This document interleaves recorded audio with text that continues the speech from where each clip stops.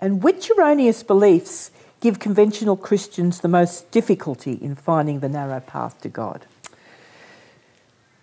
Well, um, this question was interesting when you when you first uh, listed it for me because I I just thought well I could list so many beliefs here that um, because uh, beliefs are a very individual experience. Mm. There are certain beliefs that we imbibe with our whole heart and soul, and those particular beliefs, of course, can have a terribly detrimental effect on our soul. Mm. There are beliefs that we hear, yeah. Uh, but we don't really go yes. with. So, for example, all of your life as a Christian, you would have heard of the Trinity, mm. but you've never really believed that Jesus is God. No. You know, you, you've. Yeah.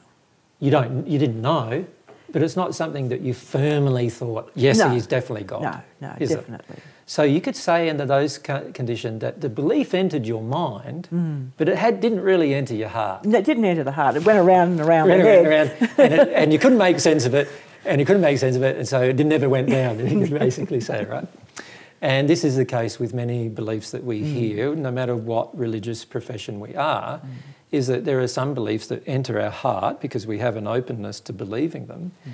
and not necessarily because they're right either, yeah. but we have an openness to believing them. Whereas other beliefs only enter our head mm. and they don't enter our heart. So, so, for example, in the 1800s, there was a general Christian belief that black people were cursed. Mm. Now, it entered the hearts of the people who engaged slaves. Mm. So, in other words, they felt justified in having black slavery because they, with their heart, engaged the concept that the blacks were cursed mm. from Cain from yes. Canaan. Yes. You know? Yes. Now, the Christians who did not agree with that, in other words, the Christians who heard that teaching but it never entered mm. their hearts, could not embrace, embrace slavery. They could see that slavery was wrong. Mm. So those Christians didn't embrace slavery when the other Christians who let this belief enter their heart could embrace slavery. Mm. That's an example of how a belief affects us. Effect, yeah. Now, it is mostly the beliefs that go into our heart that affect our life in the spirit world and in our future. Mm. And so, with this question that you've asked, it is mostly the heartfelt beliefs that cause us mm. the most trouble when we arrive in the spirit world. Mm. And they also cause us the most trouble here on earth because it's a very similar position.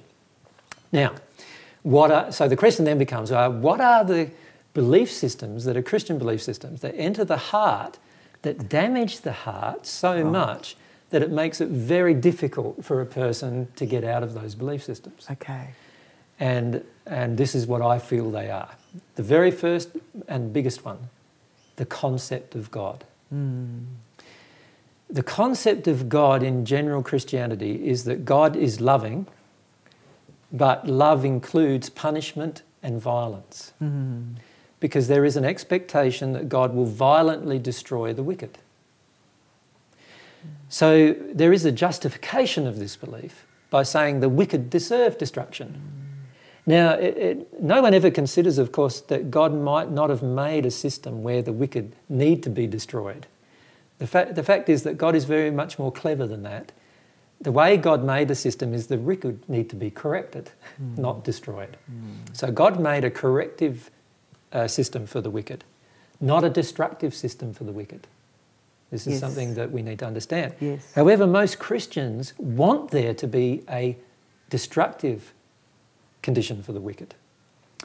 So they are very open to the concept that love involves punishment. Mm and not only punishment but violence. Mm. And as a result, and, and this is partially because many of them have been punished by their parents mm. while they're being said, while the parents are saying, "I love you." Mm. I'm belting you with a stick because the Bible tells me I should, hmm. but I love you. Right? But if you were belting an adult with a stick, it would call, be called assault. That's right. right. So, so this is all part of why people have imbibed into their heart this concept about God this concept that God is a violent, punishing God at times, and that that is love. Mm. That is the destructive belief. Mm. Mm. Now, that, that single destructive belief has a huge effect on many Christians when they pass. for many reasons. One reason is when they pass over, many Christians are not in the condition they'd hoped to be. And therefore, they usually end up in some place in the first dimension of the spirit world, in what is called the hells. Now, because they've been taught that they can't get out of the hells and God's going to punish them forever, mm. they don't even try to get out. Mm. They don't even understand that they can get out. Mm. And that causes a stagnation of their soul for hundreds of years, sometimes thousands of years.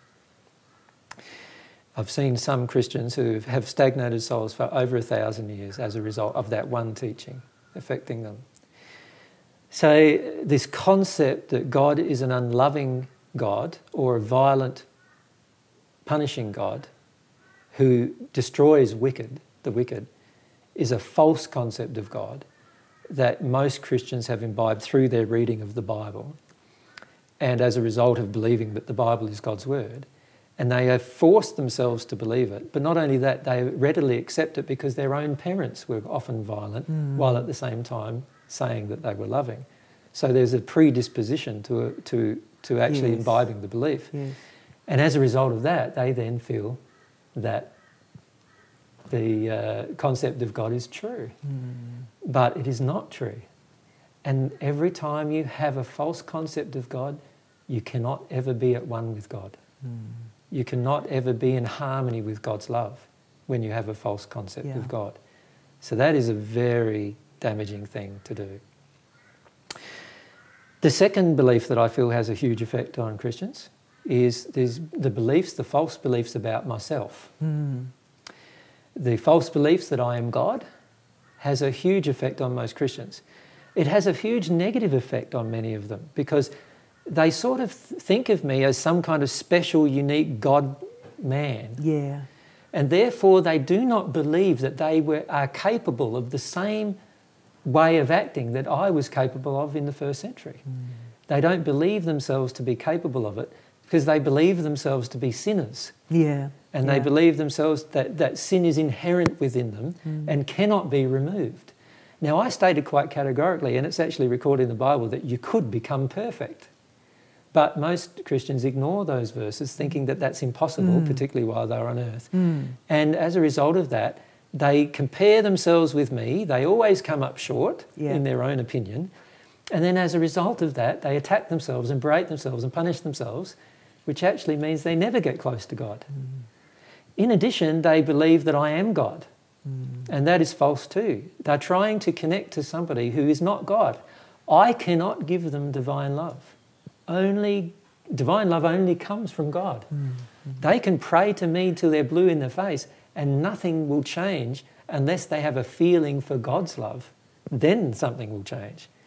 And, and so, all of these beliefs about me, including the beliefs of my sacrifice, for example, are all beliefs that have caused huge amount of pro- problems for Christians after they've passed.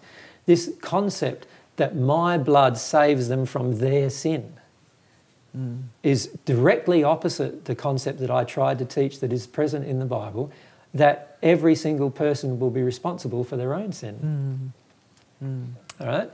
Now, what yeah. they're basically trying to say is that I will become responsible by their belief in me I, that erases their sin. Mm. And that is not the case at all. So many of them arrive in the spirit world with all the sins they've committed in, the, in their life on earth, not being erased because they need to erase it using a different method than believing in me. Mm. And, and this is a very damaging teaching because it causes a lot of them to arrive in, in, the spirit world in a dark condition. And then not only that, they go, well, it didn't, my, Jesus' blood didn't save me. Jesus' blood hasn't erased my sin because I still have it in me. I can feel it. So I might, what, what's the point of believing anything yeah. that, that I believed? Yeah. And they throw everything away. Yeah and that causes them to get into a very dark condition of just doing whatever they want, not believing anything, not trusting anybody, not trusting God exists, not trusting that God's love is there for them. So they throw away all these beliefs that could help them mm. as well mm. because, because of that one teaching. Yes. So that's a very damaging thing to do too. The belief about the Holy Spirit is the next uh, damaging belief I feel that causes Christians a lot of trouble when they pass. This belief causes them to think that when they were conversing with spirits, that they were conversing with the Holy Spirit. And many people, Christians, get told to do things by spirits that they assume they're being told to do by God. Mm. And this is very damaging to them because they're, they're, actually doing things that other people are telling them what to do. Now, if they could see the person, yeah. so it was like me saying, do, go here today, do that today, go there, visit mm. this person, mm. they'd go, Why am I listening to you for? Mm. But because it's a spirit who they believe is the Holy Spirit saying, Go here, go there today, do this, do that, they just go and do it willingly. Yeah. They give up their will because of their belief. Mm-hmm. Mm-hmm. And that's a very, very damaging thing to do for your future. Mm-hmm. God's trying to help you embrace your will, and they're giving up their will, yeah. and as a result, becoming overcloaked by spirits who are then yeah, assisting them absolutely. to do things. It's very damaging. Another belief that's very damaging is beliefs about the devil. Mm-hmm. These beliefs have been pre Christian, they've been throughout the ages the dark and light concept that there is, if there is brightness, there has to be darkness. And this is not true. God created a universe where we chose to embrace the darkness uh, because we had free will to make the choice. Mm. We could also choose to embrace the brightness if mm. we wished. And there is no mastermind of darkness. There is no devil, no uh, angel of God who went bad. Mm. None, of that, none, none of that. Now, the belief in the devil causes a lot of fear. And in fact, if you listen to many sermons that Christian ministers give, they are threatening the congregation with the devil, and the devil's got into them. And if you listen to this, you're from the devil. And if you listen to that, you're from the devil. And almost if you listen to anything that's outside of the line of what they believe is truth, is from the devil. Mm. And, uh, and this is a great way to control and mm. manipulate people, mm. but, a, but a terrible effect on your soul. So many Christians pass over into spirit world with huge levels of fear yes. about the threat from a devil. Yes. Particularly the Christians who are sincere, who know they've sinned mm. and who don't feel they've been forgiven for it yet. Mm. Those particular Christians are just waiting for the devil to yeah. come when yeah. they pass. And they're in huge amounts of fear, huge amounts of pain and suffering as a result of not realizing there is no devil and that the only devils that have ever been present in their life have been evil spirits who have been trying to influence them to do evil things. So um, the, the, teachings about the devil are very, are very damaging. The teachings that once you pass, you can't change. Mm. You're either saved or judged. These are very damaging teachings. Mm. What these teachings do is they teach you that you can't make a different choice at a later time. And this is a very dangerous teaching. I just need to have a cough.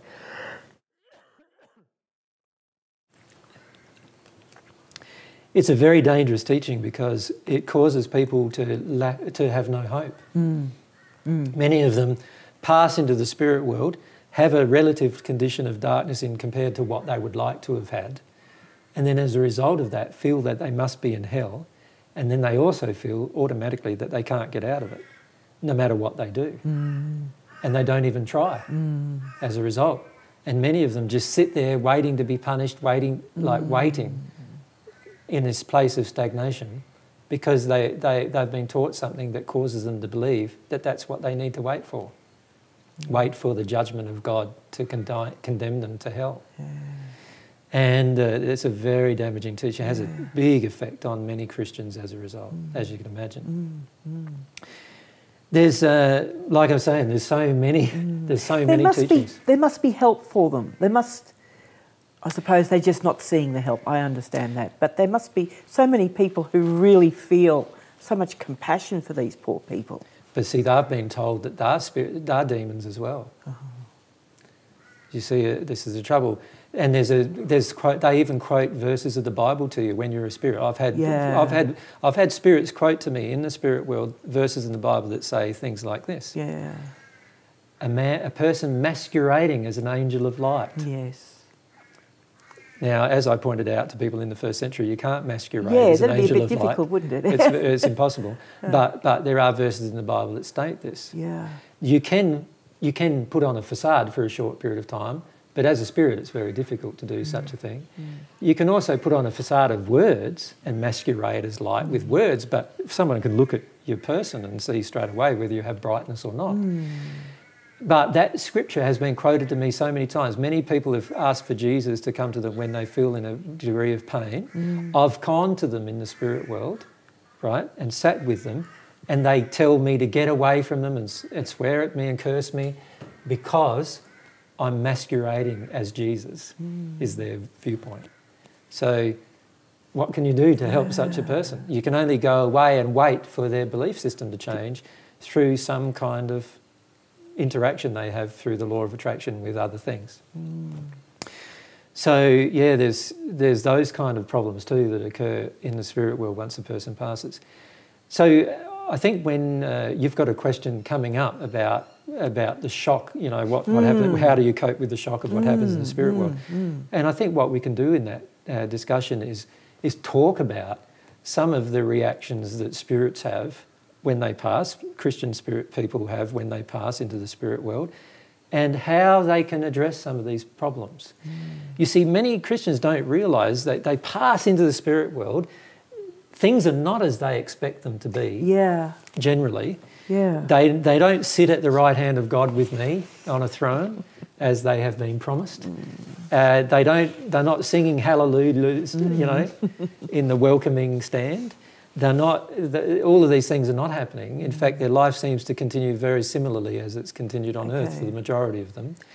And then they start to wonder whether any of their beliefs have been true. Now, there are a lot of Christian beliefs that are true. Mm. You know, God does exist. There is one God. There is God's love that can be received into the soul. Mm. You know, you do have a soul. Mm. You do have a spirit body.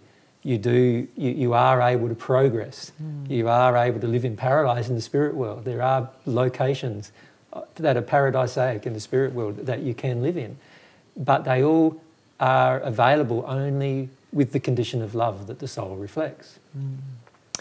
Now, all of the disciples and apostles who, and, and um, men and women I'm talking about in the first century, who were with me, are in the spirit world. Most of them are still there. You could ask any one of them to come to you and talk to you about the first century and what it was really like. Wow. You could ask any one of them to come to you and talk to you about what my teachings were really in the first century.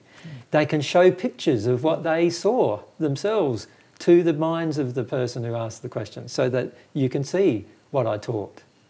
They can, they can distribute huge amounts of information. There are places in the, in the spirit world where you can get a book like the Bible, and in it is annotated every reason for every verse that was ever written Yeah. the person who wrote it, the person who actually wrote it, not the person that it claims mm. wrote it, mm. the person who wrote it, the spirit who inspired it, why they did it, where they were coming from, everything. Mm. These, this information is available everywhere in the spirit world, but only available to the people who are willing to find it, who want to find it. And that's where I feel there is another problem, and that is the Bible itself says, don't listen to anything else. Hmm. You know, in the book of Galatians, it says, if anybody comes to you, even an angel in heaven comes to you, revealing something other than what the Bible has already revealed, don't listen to him. Now, many Christian spirits, when they pass in the spirit world, they take that verse literally. So, what they do when they go past in the spirit world, they go, okay, I'm not allowed to listen to anything other than what the Bible says. So if somebody comes to me and tells me something about the Bible, I'll listen to them.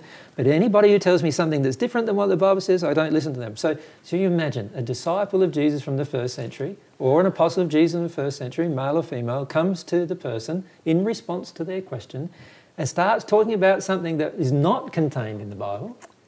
What do they do? Yeah. They go, I can't listen to you. You're an apostate. You're, you're not, you, you don't, you're bright. Without thinking about, oh, that's I feel good when I'm with you. I I feel feel, good when like I'm I you. Yeah. progress. I feel Yeah, go that's right. somewhere. yeah, you feel good with, with, with you. And I come to think of it, Jesus did say something about brightness and not holding your life under a basket, but, but they forget all of that. Yeah. Because there's this other verse prohibiting mm. the uh, absorption of this knowledge. Mm. And this is the problem. Like the problem with these kind of verses is they lock the person up into stagnation. Mm. They, they, don't, they don't free them. They don't. Mm. Remember, I said, and it's recorded in the Bible, the truth will set you free. Yes. Yes. It doesn't lock you up Yes. into a place. Now, these kind of verses, the verses like in Galatians, where in Galatians one, where it talks about how you, you, you know, you can't, you can't trust anybody, even a spirit who comes to you or an angel who comes to you who teaches you something other than good news than what you've been taught. That kind of mentality locks you up into a, only a certain way of thinking. Now, when one of those angels comes to you, they must be an angel for a reason. Mm. They've got to have a lot of love in their soul. Mm. They must have listened to some truth to get to that particular point. And this kind of a verse is basically condemning them mm. And telling you not to listen to them.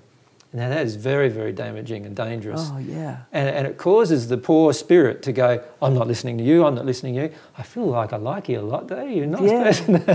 you know, Yeah. they're all confused about that and they're confused about the amount of love the person's showing. And the person's talking about Jesus and talking about the good news and talking, but, they, but they're also saying about soulmates and they're saying about, you know, other teachings that Jesus isn't God and that the Holy Spirit isn't God and you know mm. that there's this divine love and I've never heard of the divine love. Like there's mention of it in the Bible but you know might not have read about it. And then the Spirit saying there's no devil. You don't have to worry about a devil. And and you're saying no the Bible has revealed to me all of these things and I can't listen to you. Mm. And unfortunately for many of these Christian spirits they stay in that state for long periods of time not understanding why they didn't get what was promised. Hmm. You know, I promised mansions in the spirit world hmm. to my followers. Hmm. And the reason why is because if they follow my teachings as I taught them, they will get into beautiful conditions of love and they'll need a mansion in which to live, just reflecting their beautiful condition of love. I promised them paradise in the spirit world. I promised them to be with me in the celestial kingdom of the spirit world, in my kingdom. Now, if they're not there and they're not in paradise and they're not in any of these places that I described and they don't have a mansion of their own, this is an indication that something went wrong. Yeah.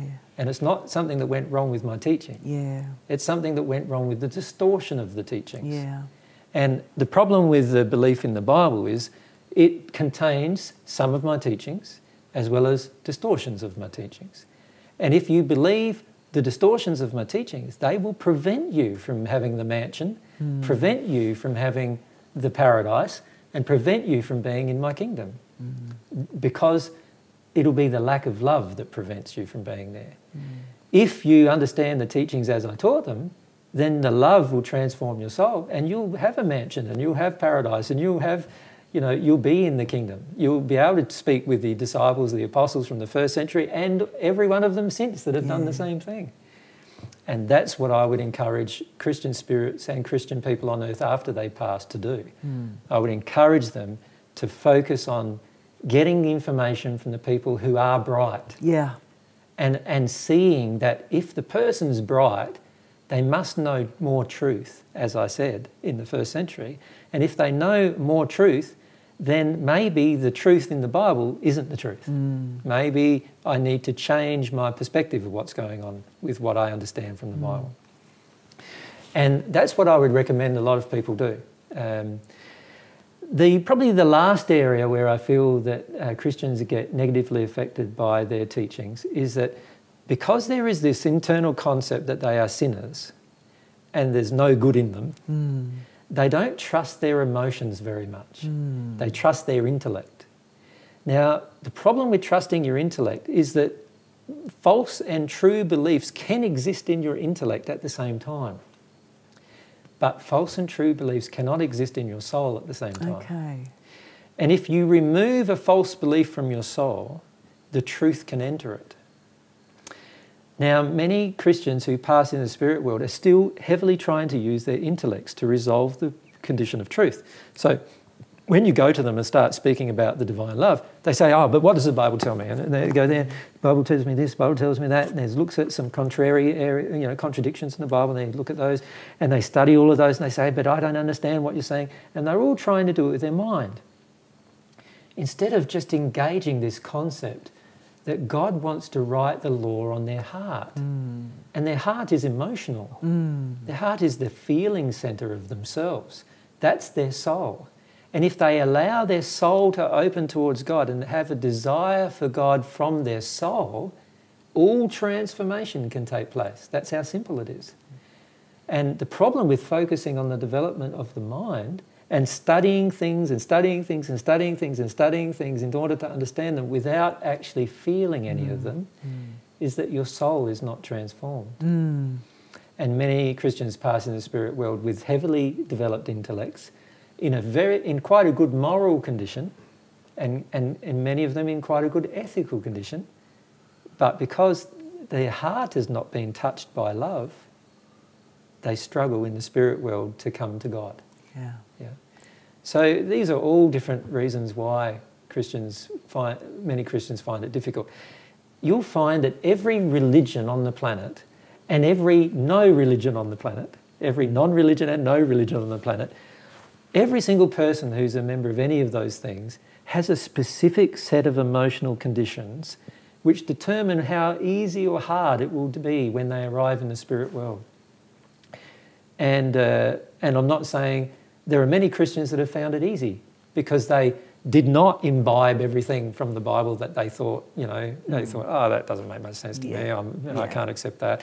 And because of that openness to reason, they easily embrace divine truth. Mm. Other Christians who are very militant Mm. and violent in their uh, opinions about the Bible and, and being God's word and so forth, they have spent many hundreds and sometimes thousands of years before they've found the truth. Many of those, though, found the truth faster than a person who has been a New Age Yeah. pra- practicer of New Age, who has been overcloaked by very dark spirits all of their life yeah. and they've passed in the spirit world in a dark condition, and they spend a lot of their life just in their addictions.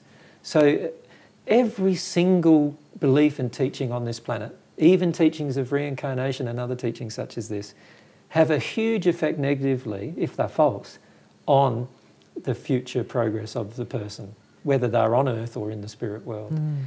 And if we have compassion for everyone, no matter what, where they've come from, whatever background they've come from, and share whatever we can divine, with divine truth with them, that's going to have a very powerful effect on their lives if they are humble and open to listening to such Mm. truth. Yep. And uh, the problem with locked in opinions is that it makes you not very humble or open to listening to Yeah. truth. Yeah. Mm. Yeah. Oh, thank you.